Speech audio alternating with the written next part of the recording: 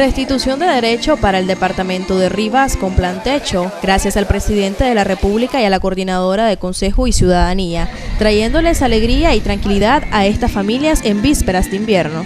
Este beneficio que se le está restituyendo el día de hoy, eh, las familias eh, van a ser protagonistas y este, este sí, pues lo van a instalar en sus casas, en las partes donde más les afecta, ¿verdad?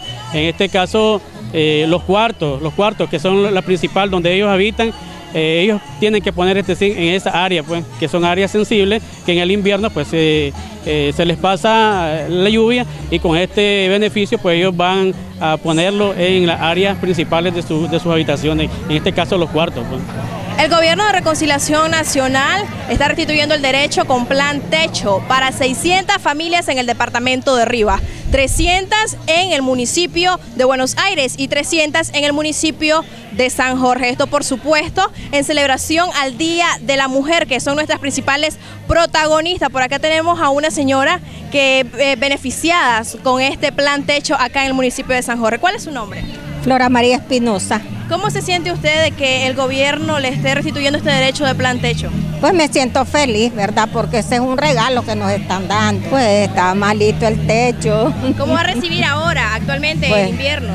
Pues alegre porque ya no me voy a mojar. Le agradecemos mucho, pues, porque por si acordan de nosotros. Pues la verdad me siento agradecida con Dios, con el presidente con la alcaldía municipal de San Jorge porque nos han beneficiado con este plantecho. De esta manera estamos celebrando el Día Internacional de la Mujer que fueron nuestras principales protagonistas, conmemorando el segundo aniversario al paso de la inmortalidad del comandante Hugo Chávez Frías.